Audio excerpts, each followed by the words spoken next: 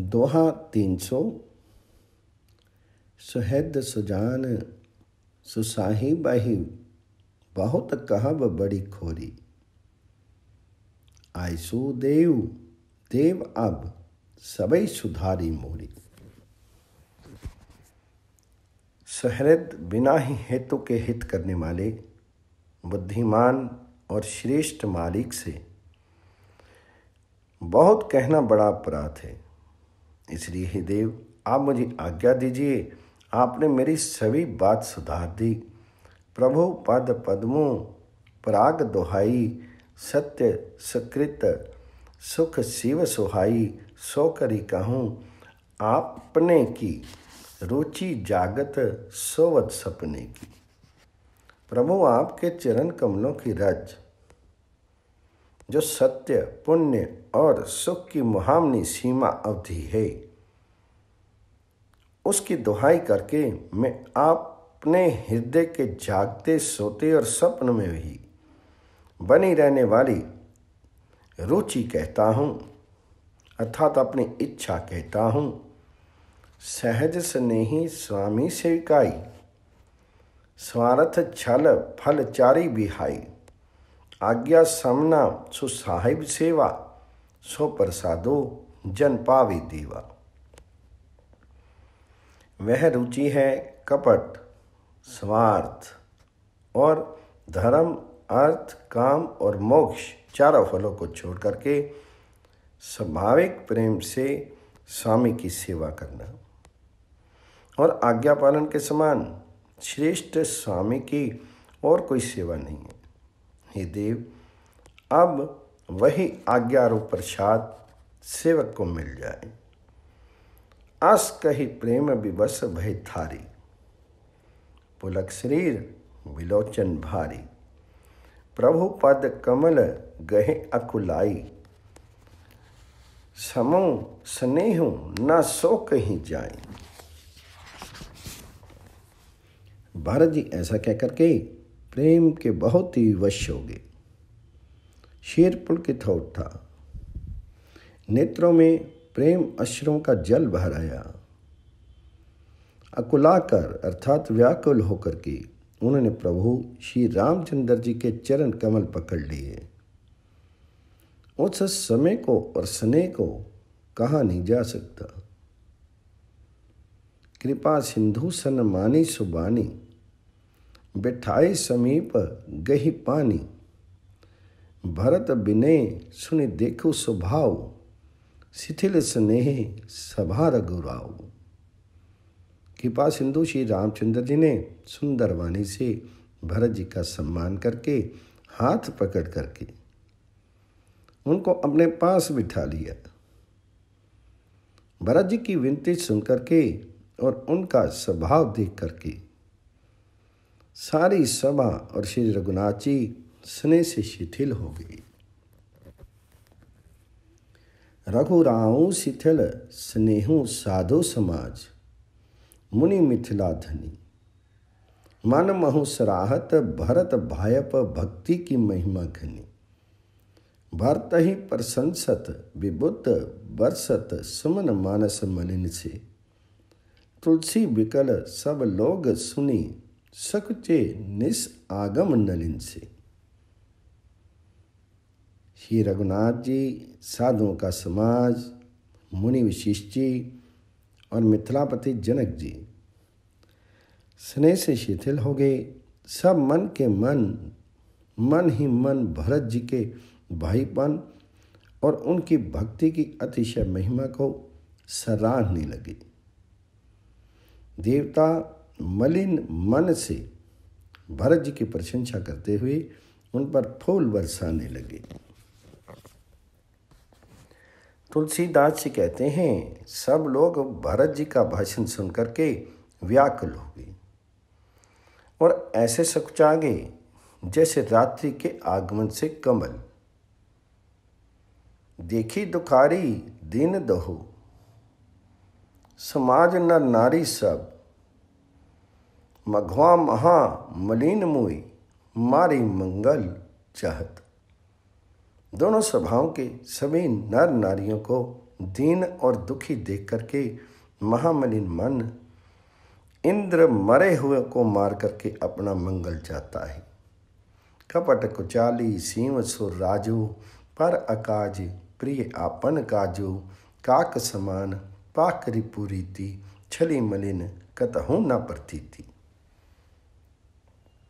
देवराज इंद्र, कपट और कुचाल की सीमा है। उसे पराई हानि और अपना लाभ ही प्रिय है। इंद्र की रीति कौवे के समान है। में छली और मलिन मन है। उसका कहीं किसी पर विश्वास नहीं है।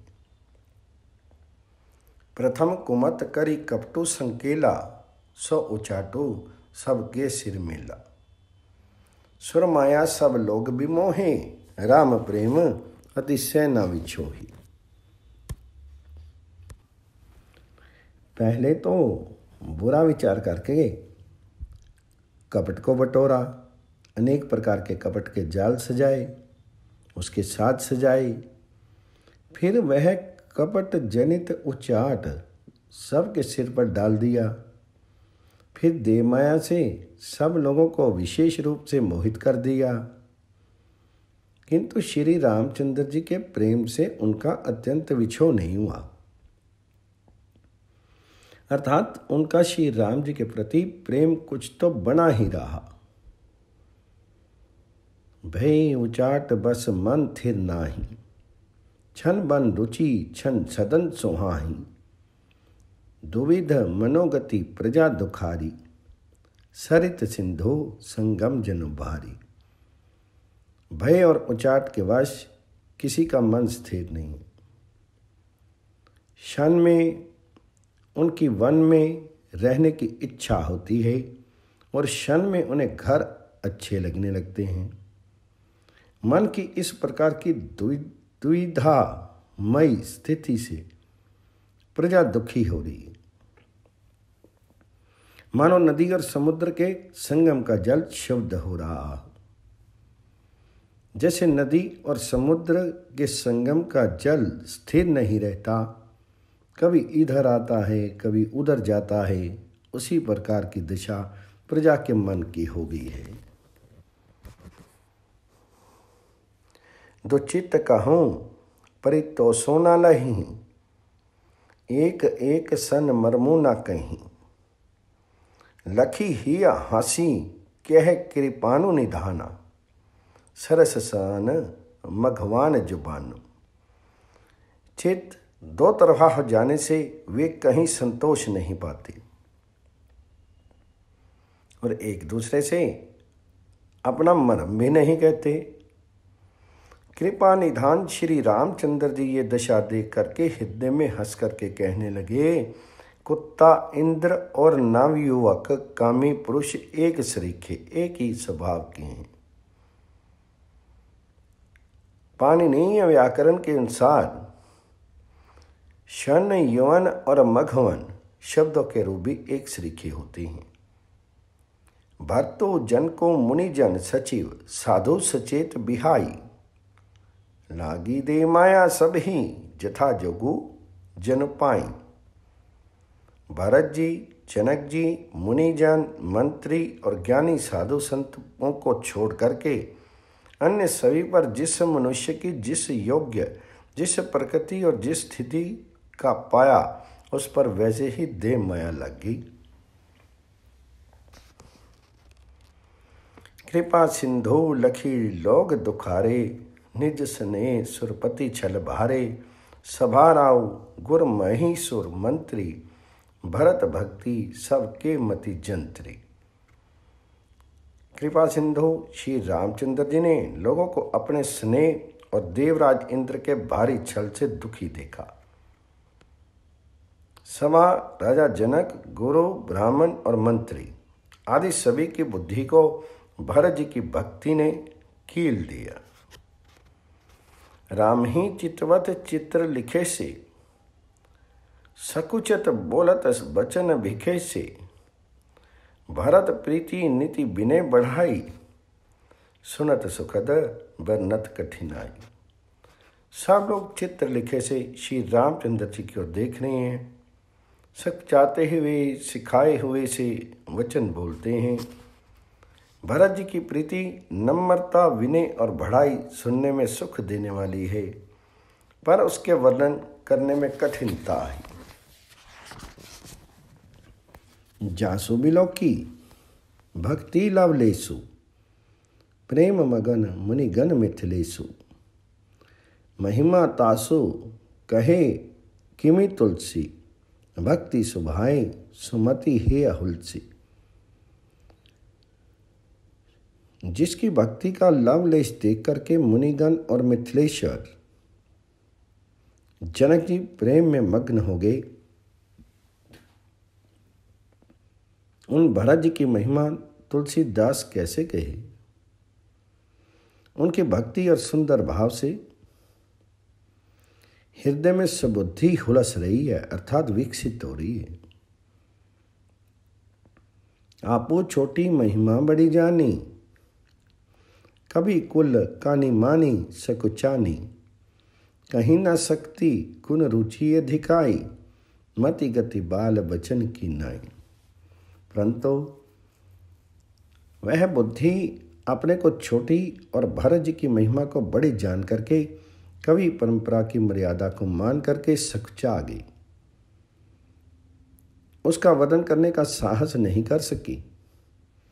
उसकी गुणों में रुचि तो बहुत है, पर उन्हें कह नहीं सकती। बुद्धि की गति बालक के वचनों की तरह होगी। वह कुंठित होगी। भरत बिमल जस बिमल विधु। सुमति चकोर कुमारी। उदित बिमल जन हृदय नभ, एक तक रही निहारी। भरत जी का निर्मल यश, निर्मल चंद्रमा है। और कवि की सुबुद्धि चकोरी है। जब भक्तों के हृदय रूपी निर्मल आकाश में उस चंद्रमा को उदित देख करके उसकी और तख्त की लगाए देखती ही रह गई। तब उसका वर्णन कौन करे? भरत स्वभाव न सुगम निगम हूँ। लघुमति चापलता कभी क्षम हूँ।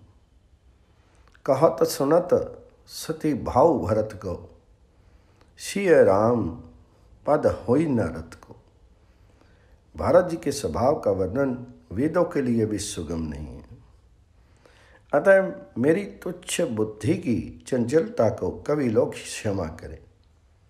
भरत जी के सद्भाव को कहते सुनते कौन मनुष्य श्री सीताराम जी के चरणों में अनुरक्त नहीं हो जाएगा? सुमिरत भरत ही प्रेमु राम को, जेहि न सुलभों तेहि सरिस बाम को, देखी दयाल दशा ही की, राम सुजान जानी जन जी की। भारत जी का स्मरण करने से जिसको श्री राम जी का प्रेम सुलभ नहीं हुआ उसके समान अभागा और कौन होगा? दयालु और सुजान श्री हरि जी के सभी की दशा देख करके और भरत जी के हृदय की स्थिति जान करके धर्म धुरीन धीर ने नागर, सत्य स्नेह, शील सुख सागर, देशों कालों, लखी समूह समाजों, नीति प्रीति पालक रघुराजू। धर्म धंधर धीर नीति में चतुर, सत्य, स्नेह, शील और सुख के समुद्र, नीति और प्रीति के पालन करने वाले श्री रघुनाथ जी देश, काल, अवसर और समाज को देख करके बोले वचन बानी सर बसु से। हित परिणाम सुनत शशि रसु से। तात भरत, तुम भरत धरीना, लोक वेद, विद प्रेम परबीना ऐसे वचन बोले, जो मन वाणी के सर्वस्व ही थे। परिणाम में हितकारी थे और सुनने में चंद्रमा के रस अमृत से लिखे थे। उन्होंने कहा, हे तात भरत, तुम धर्म की घोरी को धारण करने वाले हो। लोक और वेद दोनों के जानने वाले और प्रेम में प्रवीण हो। कर्म वचन मानस विमल। तुम समान तुम तात। गुर समाज लघु बंधु गुण कुसमे कीमी कहीं जात।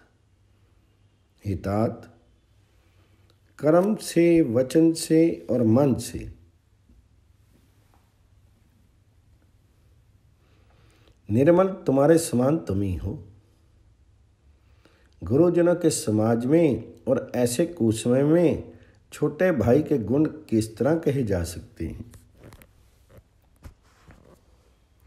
जनहु तात तरनी कुल रीति, सत्य संध पितु कीर्ति प्रीति समो समाजों लाज गुरुजन की, उदासीन हित अनहित मन की। हितात तुम सूर्य कुल की रीति को, सत्य प्रतिज्ञ पिताजी की कीर्ति और प्रीति को समय समाज और गुरुजनों की लज्जा, मर्यादा को तथा उदासीन मित्र और शत्रु सबके मन की बात को जानते हो। तुम ही विदिति सब ही कर कर्म। अपन मोर परम हित धर्म। मोहि सब भांति भरोस तुम्हारा। तद्यपि कहूँ अवसर अनुसारा। तुमको सबके कर्मों, कर्तव्यों का और अपने तथा मेरे परम हितकारी धर्म का पता है।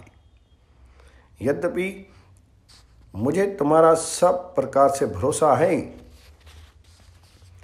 तथापि मैं समय के अनुसार कुछ कहता हूँ। तात तात, बिनु बात हमारी, केवल गुरुकुल, कृपा संभारी, नत्रु, प्रजा, परिजन, परिवारो, हम ही सहित सब होत खुआरो हितात। पिताजी के बिना उनकी अनुपस्थिति में हमारी बात केवल गुरुवंश की कृपा ने ही संभाल रखी। नहीं तो हमारे समेत प्रजा, कुटुंब, परिवार सभी बर्बाद हो जाते।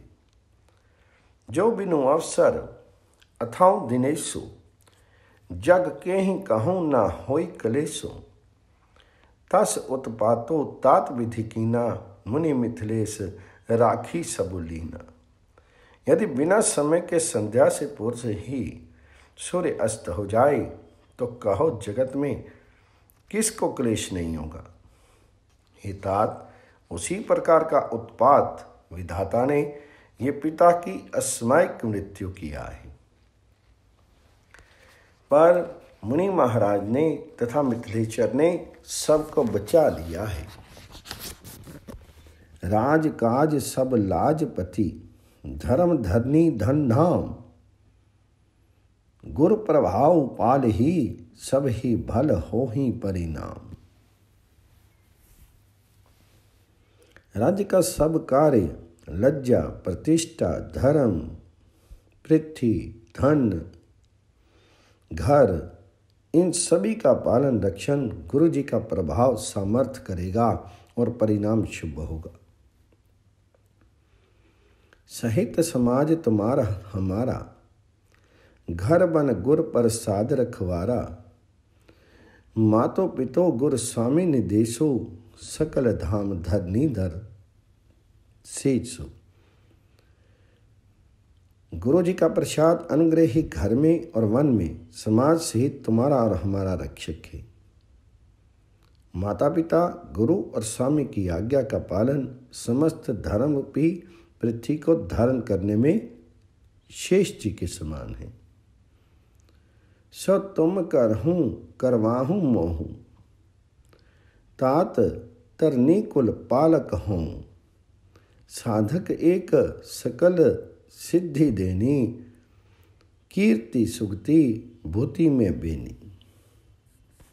हितात तुम वही करो और मुझसे भी कराओ और सूर्य कुल के रक्षक बनो साधक के लिए ये एक ही, अर्थात आज्ञा पालन रूपी साधन संपूर्ण सिद्धियों की देने वाली कीर्तिमयी, सदगतिमयी और ऐश्वर्यमयी त्रिवेणी है। सौ बिचारी, सही संकट भारी, करहूँ प्रजा परिवार सुखारी बाटी विपत्ति सब ही मोहि भाई। तुम ही अवधि भरी बड़ी कठिनाई। इसे विचार करके भारी संकट सहकर भी प्रजा और परिवार को सुखी करो। हे भाई, मेरी विपत्ति सभी ने बांट दी है। परंतु तुमको तो चौदह वर्ष तक बड़ी कठिनाई है। सबसे अधिक दुख है जानी तुम ही मृदु कहूँ कठोरा। कुस में तात न अंचित मोरा। हूँ ही कठाऊं सुबंधु सहाय। ओडी अही हाथ, अस नीहू के खाई तुमको कोमल जान करके भी मैं कठोर वियोग की बात कह रहा हूँ। ही तात, बुरे समय में मेरे लिए ये कोई अनुचित बात नहीं है। कुअवसर में श्रेष्ठ बाय ही सहायक होते हैं। वज्र के आघात भी हाथ से ही रोके जाते हैं। सेवक कर पद नयन से मुख सो साहिबो होई। तुलसी प्रीति की रीति सुनी सुकवि सराही सोई। सेवक हाथ, पैर और नेत्रों के समान और स्वामी मुख के समान होना चाहिए। तुलसीदास जी कहते हैं कि सेवक स्वामी की ऐसी प्रीति की रीति सुनकर के सुकवि उसकी सराहना करते हैं। सभा सकल, मुनि रघुवर जानी। सभा सकल, सुनी रघुवर बानी। प्रेम प्योधी अमे जनुसानी शिथिल समाज, सने समाधि, देखी दशा। चुप सारद साथी। श्री रघुनाथ जी की वाणी सुनकर के जो मन प्रेम रूपी समुद्र के मंथन से निकले हुए अमृत में सनी हुई थी, सारा समाज शिथिल हो गया। सबको प्रेम समाधि लग गई। ये दिशा देख करके सस्ती ने चुप साध ली। भरत ही भ्यों परम संतोषु। सनमुख स्वामी विमुख दुख दोषु। मुख प्रसन्न मन मिटा विषादो भाजन गुंग ही गिरा प्रसादो। भरत जी को परम संतोष हुआ। स्वामी के सम्मुख अनुकूल होते ही उनके दुख और दोषों ने मुँह मोड़ लिया। वे उन्हें छोड़ करके भाग गई उनका मुख प्रसन्न हो गया और मन का विषाद मिट गया। मन गूँगे पर सरस्वती जी की कृपा होगी हो। किन्नी सप्रेम पर नामो बहोरी, बोली पानी पंक रोह जोरी, नाथ भ्यू सुख साथ गए को, लहे हूँ लाहू जग जन्मो भई को। उन्हें फिर प्रेमपूर्वक प्रणाम किया और कर कमलों को हाथ जोड़ करके वे बोले, हे नाथ, मुझे आपके साथ जाने का सुख प्राप्त हो। मुझे आपके साथ जाने का सुख प्राप्त हो गया और मैंने जगत में जन्म लेने का लाभ भी पा लिया। अब कृपाल, जस आयसु होई, करो शीस, धरी सादर सोई, सो अवलंब, देव मोहि देई अवधि पारो पावो जेहि से। हे कृपालो, अब जैसी आज्ञा हो, उसी को मैं सिर पर धर करके आदर पूर्वक करूँ। परंतु देव, आप मुझे वह अवलंबन, कोई सहारा दे, जिसकी सेवा करके मैं अवधि का पार पर जाऊँ, अवधि को बिता दूँ। देव देव, अभिषेक हित गुरु अनुशासन पाई आने सब तीरथ से लीलो ते कहें, कहर जाए हे देव, स्वामी, आपके अभिषेक के लिए गुरु जी की आज्ञा पाकर मैं सब तीर्थों का जल लेता आया हूँ। उसके लिए क्या आज्ञा होती है? एक मनोर्थो बड़ मन माही। सबे संकोच जात कहीं नाई कहूँ तात प्रभु आयसु पाई, बोले बानी सने सुहाई। मेरे मन में एक और बड़ा मनोरथ है, जो भय और संकोच के कारण कहा नहीं जाता। श्री रामचंद्र जी ने कहा, है भाई, कहो, तब प्रभु की आज्ञा पाकर भरत जी स्नेहपूर्ण सुंदर वाणी बोले चित्रकूट सूची थल तीरथ बन। खग मृग सर सरी निर्झर गिरिगन। प्रभु पद अंकित अवनी विशेषी आयसु हुई त आवा देखी। आज्ञा हो तो चित्रकूट के पवित्र स्थान। तीर्थ वन, पशु, पक्षी, तालाब, नदी, झरने और परतों के समूह तथा विशेष करके प्रभु आपके चरण चिन्हों से अंकित भूमि को देखा हूँ। अवसी अत्रि आयसु से धर हूँ। तात विगत भय कानन चर हूँ। प्रभु प्रसाद मनु मंगल दाता, पावन परम सुहावन बाता श्री रघुनाथ जी बोले, अवश्य अत्रि ऋषि की आज्ञा को सिर पर धारण करो। उनसे पूछकर वे जैसा कहीं वैसा करो और निर्भय होकर के वन में विचरो। हे भाई, अत्रि मुनि के प्रसाद से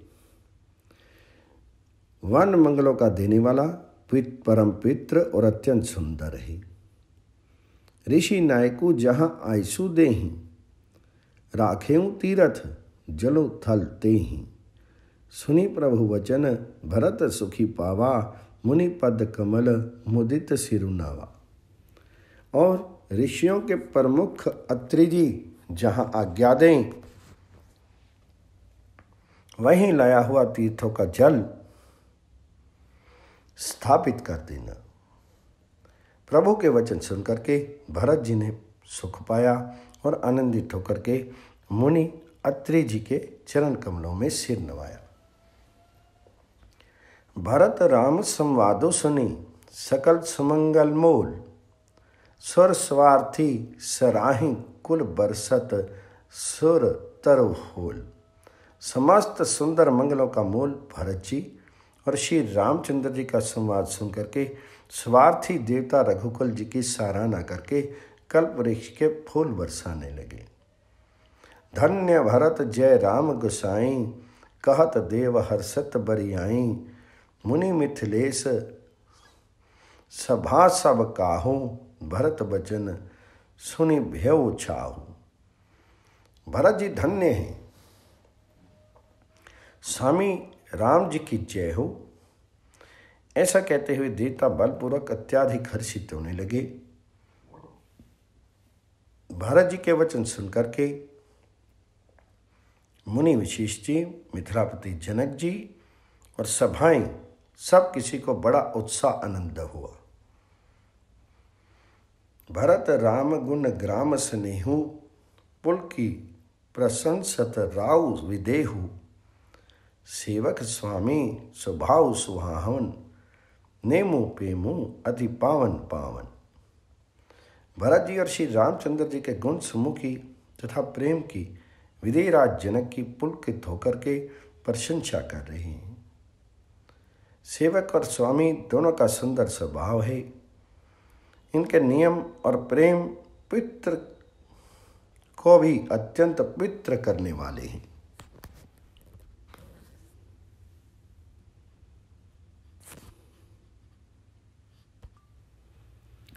मति अनुसार सराहन लागे सचिव सभासद सब अंदागे सुनी सुनी राम भरत संवादो। तो समाज ही हर्षो विषादो मंत्री और सभासद सभी प्रेम मुग्ध होकर के अपनी अपनी बुद्धि के अनुसार सराहना करने लगे। श्री रामचंद्र जी और भरत जी का संवाद सुन सुनकर दोनों समाजों के हितों में हर्ष और विषाद। भरत जी के सेवा धर्म को देखकर हर्ष और राम योग के सब संभावना से विषाद। दोनों हुए राम मातो दुख सुख समझानी कहीं गुण राम पर बहुत ही जानी। एक कहीं ही रघुबीर बढ़ाई, एक सराहत भरत भलाई। श्री रामचंद्र जी की माता कौशल्या जी ने दुख और सुख को समान जान करके श्री राम जी के गुण कह करके दूसरी रानियों को धैर्य बंधाया। कोई श्री राम जी की बढ़ाई, बड़प्पन की चर्चा कर रहे हैं, जो कि भरत जी के अच्छेपन की सराहना करते हैं। अत्रि के हूँ तब भरत सन, सैल समीप सकूप राखो तीरथ तो तह पावन, अमेय अनूप। तब अत्रि जी ने भरत जी से कहा, इस पर्वत के समीप एक सुंदर कुआँ है। इस पित्र अनुपम और अमृत जैसे तीर्थ जल को उसी में स्थापित कर दीजिए। भरत अत्रि अनुशासन पाई, जल भाजन सब दिए चलाई, सानुज आपो अत्रि मुनि साधु, सहित गे जहाँ कूप कातु। भरत जी ने अत्रि मुनि की आज्ञा पा करके जल के सब पात्र रवाना कर दिए और छोटे भाई शत्रुघ्न अत्रि मुनि तथा अन्य साधु संतों सहित आप वहाँ गए, जहाँ वह अथा कुआँ था। पावन पाथ पुण्य थल राखा, प्रमोदित प्रेम, अत्रि अस भाषा तात अनादि सिद्ध थल एहूँ, लोपेहूँ काल विदित नहीं गेहूँ। और उस पित्र जल को उस पुण्य स्थल में रख दिया तब अत्रि ऋषि ने प्रेम से आनंदित होकर के ऐसा कहा, हे तात, ये अनादि सिद्ध स्थल है। काल क्रम से ये लोप हो गया है। इसलिए किसी को इसका पता नहीं था। तब सेवक अनहन सरस थलु देखा किन्नी सुजल हित कूप विशेषा विधि व सभ्यो विश्व उपकारो, सुगम अगम अति धर्म विचार। तब भरत जी के सेवकों ने उस जलयुक्त स्थान को देखा और उस सुंदर तीर्थों के जल के लिए एक खास कुआ बना लिया। देव योग से विश्व भर का उपकार हो गया। धर्म का विचार जो अत्यंत अगम था, वह इस कूप के प्रभाव से सुगम हो गया। भरत कूप, अब कहीं लोगा, अति पावन तीर्थ जन जो का। प्रेम स्नेम निमज्जत रानी हो ही विमल कर्म मन बानी। अब इसको लोग भरत कोप कहेंगे। तीर्थों के जल के संयोग से तो यह अत्यंत ही पवित्र हो गया। इसे प्रेम पूर्वक नियम से स्नान करने पर प्राणी मन, वचन और कर्म से निर्मल हो जाएँगे। कहा तकूप महिमा सकल गए जहाँ रघुराव अत्रि सुनाऊं रघुवर ही तीर्थ पुण्य पर बहाऊं। कोप की महिमा कहते हुए सब लोग वहाँ गए जहाँ श्री रघुनाथ जी थे। श्री रघुनाथ जी को अत्रि जी ने उस तीर्थ का पुण्य प्रभाव सुनाया। कहत धर्म इतिहास सुप्रीति भीव भौरु निशी सो सुख बीती।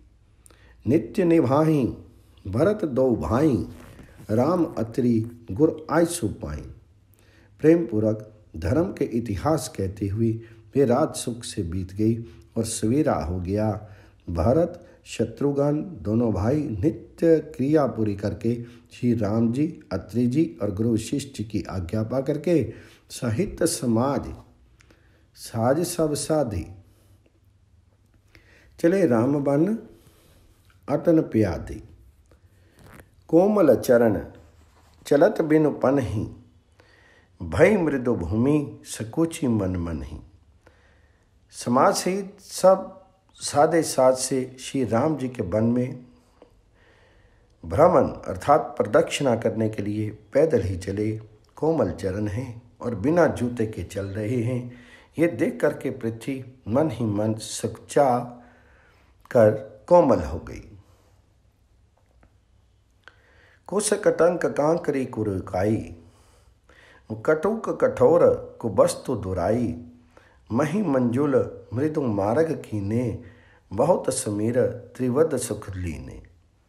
कुश कांटे कांकड़ी दरारें और कड़वी, कठोर और बुरी वस्तु को छिपा करके पृथ्वी ने सुंदर और कोमल मार्ग कर दिए। सुखों को साथ लिए सुखदायक, शीतल, मंद, सुगंध, हवा चलने लगी। सुमन बरसी सुर घन करी छाही, बिटप फूली, फली तृण मृदु ताही, मृग बिलोकी, खग बोली सुबानी, सेवही सकल राम प्रिय जानी। रास्ते में देवता फूल बरसा करके, बादल छाया करके, वृक्ष फूल फल करके, तृण अपनी कोमलता से मृग पशु देख करके और पक्षी सुंदर बाणी बोल करके, सभी भरत जी को श्री रामचंद्र जी के प्यारे जान करके उनकी सेवा करने लगे।